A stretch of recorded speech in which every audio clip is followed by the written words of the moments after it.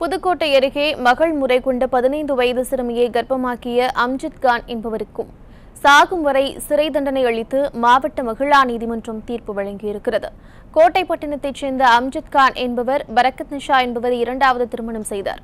பரக்கத் நிஷாவிற்கும் அவரது முதல் கணவருக்கும் பிறந்த மகள் ஒன்பதாம் வகுப்பு பயின்று வருகிறார்.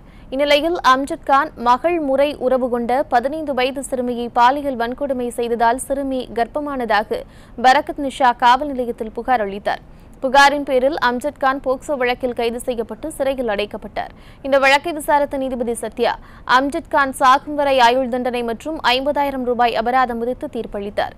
மேலும் பாதிக்கப்பட்ட சிறுமிக்கு அரசு ஆறு லட்சம் ரூபாய் இழப்பீடு வழங்க வேண்டும் என்றும் உத்தரவிட்டார்.